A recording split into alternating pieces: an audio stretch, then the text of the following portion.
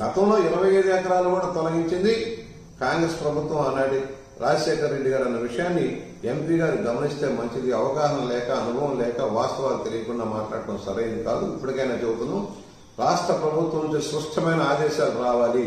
ఈ విశ్వవిద్యాలయాన్ని ఇక్కడే కొనసాగిస్తాం సాహిత్య పీఠాన్ని ఒకప్పుడు నన్నయ్య భారతాన్ని ఆంధ్ర నుంచి తెలుగు నుడికారానికి పెట్టిన ఈ ప్రదేశంలో ఈ కొనసాగుతుందని చెప్పి ఆర్డర్ వచ్చేదాకా కూడా మేము నమ్మే పరిస్థితులు లేము.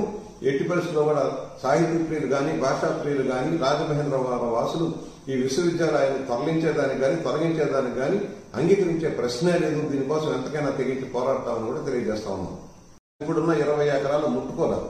గతంలో ఇరవై ఐదు ఎకరాలు కూడా తొలగించింది కాంగ్రెస్ ప్రభుత్వం ఆనాటి రాజశేఖర రెడ్డి గారు అన్న విషయాన్ని ఎంపీ గారు గమనిస్తే మంచిది అవగాహన లేక అనుభవం లేక వాస్తవాలు తెలియకుండా మాట్లాడటం సరైనది కాదు. ఇప్పటికైనా చెబుతున్నాం రాష్ట్ర ప్రభుత్వం నుంచి స్పష్టమైన ఆదేశాలు రావాలి. ఈ విశ్వవిద్యాలయాన్ని ఇక్కడే కొనసాగిస్తాం సాహిత్య పీఠాన్ని ఒకప్పుడు నన్నయ్య భారతాన్ని ఆంధ్ర నుంచి తెలుగు నుడికారానికి చూపిన ఈ ప్రదేశంలో ఈ కొనసాగుతుందని చెప్పి ఆర్డర్ వచ్చేదాకా కూడా మేము నమ్మే పరిస్థితులు లేము. ఎట్టి పరిస్థితుల్లో కూడా సాహిత్య ప్రియులు కానీ భాషా ప్రియులు కానీ రాజమహేంద్రవరం వాసులు ఈ విశ్వవిద్యాలయాన్ని తరలించేదానికి కానీ తొలగించేదానికి కానీ అంగీకరించే ప్రశ్నే లేదు. దీనికోసం ఎంతకైనా తెగించి పోరాడతామని కూడా తెలియజేస్తా ఉన్నాం.